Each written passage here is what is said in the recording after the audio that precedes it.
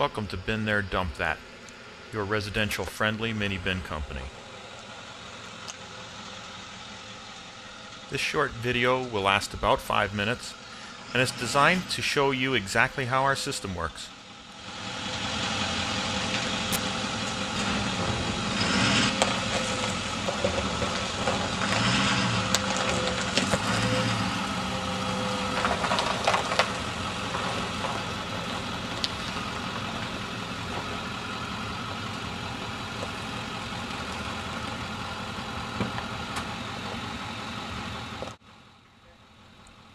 All our bins and equipment, including the trucks, have been designed to easily go in and out of the average residential driveway.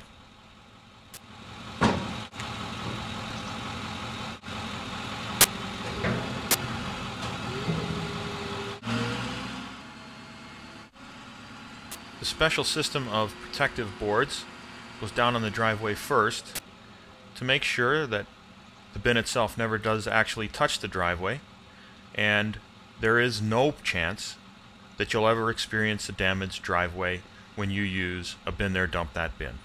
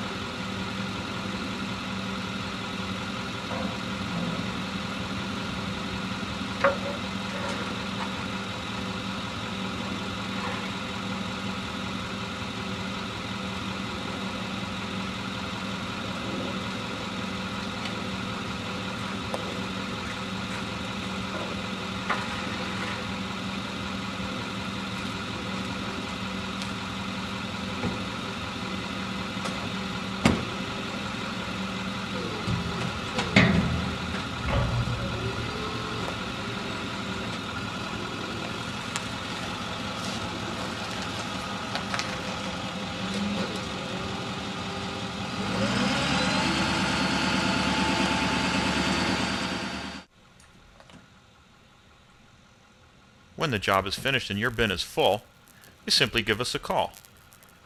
We'll return at a convenient time, and even if you're not able to be at your home, we'd be happy to come and pick up the bin anyways.